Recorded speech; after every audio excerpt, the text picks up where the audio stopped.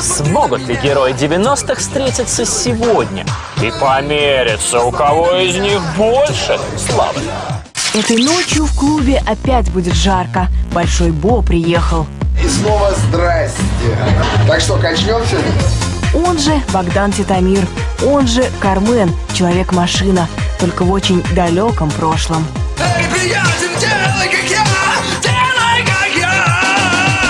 В 90-х он оставил прежние песни, косуху и короткую стрижку, сохранил только фирменный жест.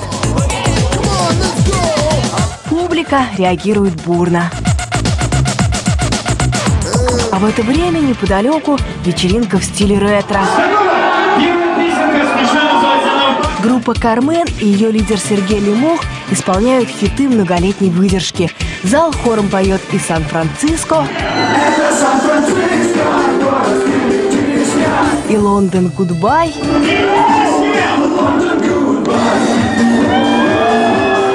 Все так весело и хорошо, но Сергею Лемоху хочется большего. Так, давайте сразу говорите, ваши руки и ваши голоса все время. Богдан Титомир и Сергей Лемох. 20 лет назад они вместе устроили в нашей стране сразу несколько революций. Музыкальную, танцевальную и еще одну, тоже важную. Ну, вообще сексуальную революцию в, эту- в этой стране я первый продвигал. Да. Они тогда не просто проснулись знаменитыми, они даже не успели заснуть. В группе «Кармен» слава пришла мгновенно и застала врасплох. People, публика, все хавает. Мне очень льстит, что многие даже стали подражать то, что мы делаем на сцене. Кадры из совместного прошлого. Стадионы фанатов ждут в каждом городе.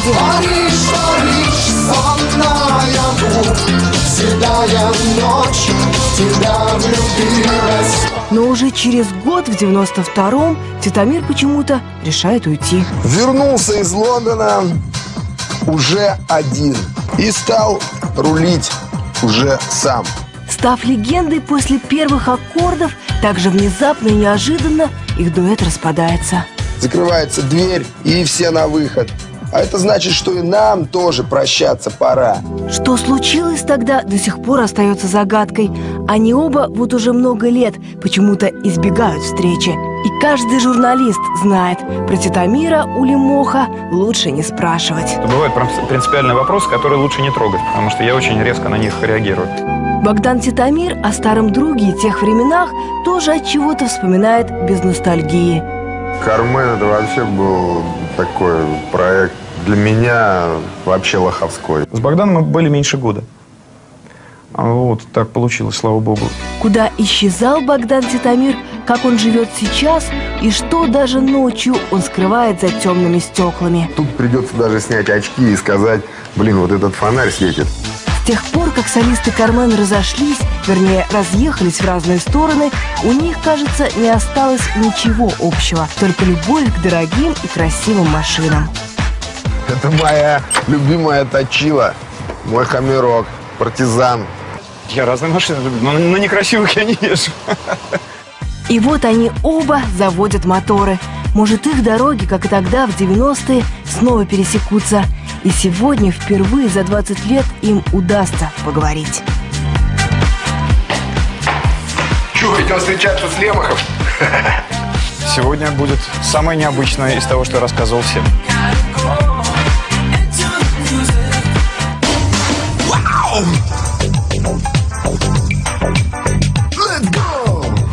Кармен, едва появившись, зажгла так, что по всей стране начались горячие танцы. Их движения, даже самые откровенные, копировали все.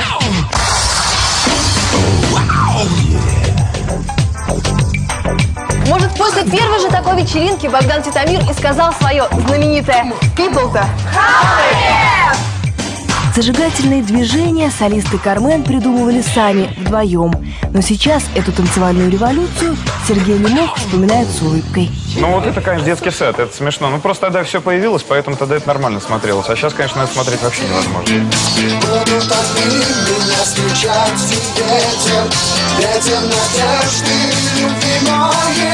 И даже показать что-то из старого Лемох не решается. Движение – это моя профессия, так что бесплатно ничего не показывается. хоть одному. Вот вы готовьте бюджет, приезжайте, я вас буду учить. Титамира Лемох встретил еще в конце 80-х. Они были музыкантами, а потом решили запеть дуэтом. Но теперь, через много лет, у Сергея Лемоха своя версия. То, что он попал в коллектив, это вообще случайность. То есть э, благодаря его администраторскому таланту. То есть он без мыла везде влезет, поэтому э, как я бы взял себе, например, директором с удовольствием или администратором. Э, у него есть талант к этому. Вот и Титамир хотел вспомнить прежние времена добрым словом, но опять не вышло. Просто мы были энергичные, и я качал новую тему. А огурец там еле поспевал. Энергичных ребят, которые еще не успели поссориться, приметил тогда Аркадий Укупник и предложил начинающей группе записать альбом на своей студии, а уже скоро начал выступать на разогреве у своих учеников. На третьей песне мы тебя, тебя начинали кидать всякими предметами и кричать «Кармен! Кармен!». Им подражала вся молодежь, но о том, что в группе творит что-то неладное, мало кто знал. Даже бывший продюсер о причине их ссоры мог только догадываться. Я примерно понимал, почему они расстались. Ну, когда ты становишься на эту дорожку звездную, ты думаешь, что можешь все, и можешь э, как-то на себя тянуть одеяло. С тех пор, как дуэта не стало, Титамир и Лемох друг о друге не хотят даже слышать. Много времени прошло, я вообще практически не помню, что он делал там и чем он занимался. Я его не видел сто лет и знать не знаю вообще этого огурца. Но, может, сегодня они наконец встретятся и поговорят о старых обидах. Ну что, идем встречаться с Серым? Богдан уже идет. Серьезный мужской разговор, мне кажется, здесь вполне... Ну да? а где, где он? Давай, что, присядем? Сейчас позвоним, садись, брат. Спасибо. Пока, пока он еще не приехал, так сказать, видимо, я заменю его тебе. Или это еще тех времен, слушай, клип? Приятно наблюдать себя молодым.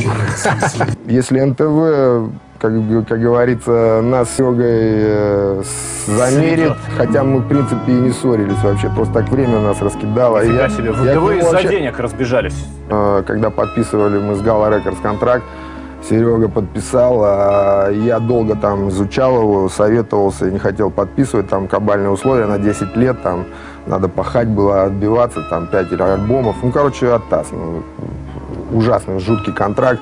Я его слил. Very Давай welcome. звоните Лемаху, чтобы законнектить. За эти 20 лет они даже не созванивались ни разу. Может, сегодня им удастся поговорить, а потом им вместе выйти на сцену.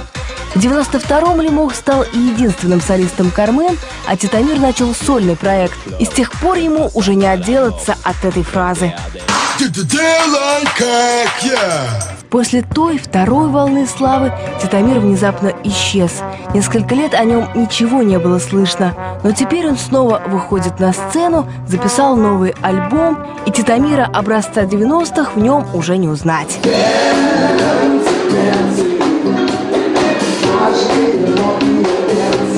На гастролях он бывает чаще, чем дома. Валим по домам, валим по домам.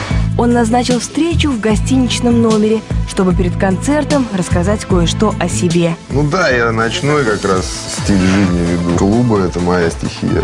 Я просыпаюсь уже в обед, там, прихожу в себя. Дальше уже попер. В Петербург Титамир только что приехал и, похоже, удачно.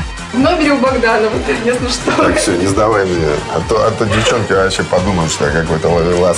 Вокруг него всегда было много девушек, но в свои 44 Большой Бо по-прежнему холостяк. Всегда, как на сафари ночью, охочусь за прекрасными цыпками. За чиками. Перед концертом он спешит на закрытие недели моды и уже строит коварные планы. Мы здесь как свои. Можем проникнуть в любую гримерку, где переодеваются модели. Погулял, что-то примерил и тут же начал охоту. Ну, пока глаз я что-то ни на кого не положил. Вот две косушки идут, неплохие. Смотри, длинноволосые, хихи-ха-ха. На пафосе. А потом нашел самое удобное место. Здесь Богдан Титамир готов признаться всем поклонницам. Его сердце пока свободно. Это все пиарится, девчонки какие-то. Никаких жен, никаких свадеб. жена, наверное, звонит. Да нет, нет. Сейчас проверю. Йоу, what's up? Но когда рядом появилась она, Богдан, кажется, забыл обо всем. Конечно же, конечно же, конечно же. Красотка. Как тебя зовут? Маша. Маша? А я Богдаша. Я знаю. Ну все, будем знакомы. После свидания под балдахином Титамир признается, вечер прожит не зря. Телефон дала? Да ладно телефон, так бы дала. Но через минуту он снова не смог пройти мимо скучающих юных леди. Альфа-самцов нужно чувствовать, девчонки. В отличие от Титамира, Лемоха всегда знали как примерного семьянина. У него две дочери, которых певец ограждает от сцены. Младшая, она закончила сельскохозяйственную академию. Вот, она биолог по образованию, и я думаю, у нее перспективы очень хорошие. А старшая пока в поиске. О семье Сергей Лемох не любит рассказывать. Меня не рубят. А, будет, будут люди обсуждать мою личную жизнь или нет. Мне это вообще не интересно. Я делаю музыку, я музыкант. Вскоре после ухода Титамира из группы в Кармен появилась девушка-танцовщица. Она стала второй женой Сергея и больше 15 лет провела с ним на сцене. Девушка, та, которая работала, это вообще моя жена, и она э, мастер спорта по фигурному катанию. Сам Сергей тоже занимается спортом. В его танцевальном шоу без хорошей подготовки не обойтись, да и образ брутального мачо нужно поддерживать. За здоровьем теперь следит и Богдан Титамир. Он стал вегетарианцем и признается, что уже давно не пьет ничего крепче брусничного морса. В здоровом теле, здоровый дух. И он уже не станет скрывать, что в его бурной молодости было всякое. Вместе с деньгами и славой в его жизни тогда появились наркотики. Я экспериментировал и попробовал все. Ну, практически все там. Только самые там модные, последние, навороченные какие-то препараты я уже просто давно экспериментирую, больше 10 лет. В конце 90-х Титамир исчез. Он уехал из России, и несколько лет о нем никто ничего не знал. Богдан путешествовал по Америке, тратил то, что заработал на концертах, и жалел только об одном. Там нет такого сафари. Наши славянские девушки мне ближе всего. Вот. В этот вечер темные очки он решится снять лишь однажды, чтобы сделать неожиданное признание. Снимаю очки, чтобы поверили, что детей у меня нет э, из известных мне. То есть мне никогда никто, ну, может быть, я могу предположить, что они есть где-то, но мне лично никто не предъявлял. Если бы мне сказали, что у меня есть ребенок, я бы обрадовался, например, и был бы счастлив. Так что пока одинокий, свободный и знаменитый Титамир снова заводит зал, но после концерта никогда не уходит один. По хатам. Когда гастроли закончатся, Титамир уже без новых знакомых вернется домой и согласится показать свою квартиру холостяка, где он живет, работает и отдыхает от яркого света. В квартире у Богдана Титамира всегда полумрак, и сам он по ней почему-то не ходит, а ездит. На сегвее он кружит по коридорам и, кажется, даже дома, в халате и тапочках, он по-прежнему в образе эпатажной звезды. Я самый главный перед. Первая слава, полные стадионы и знаменитый дуэт «Кармен». Это все осталось в 90-х. У Богдана Титамира и Сергея Лемоха уже давно нет ничего общего. Ни песен, ни гонораров, ни поклонников. Кто из них теперь самый главный, уже и не важно.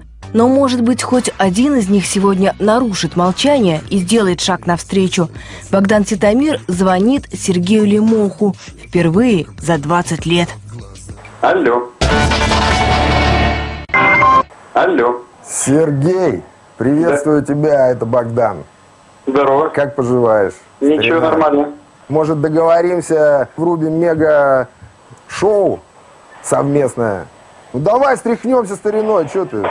Ты же артист. Да, мы, мы каждый по-своему трясем, все в порядке. Ты же- Я не вижу совместного никакого там. Ты же крутой музыкант.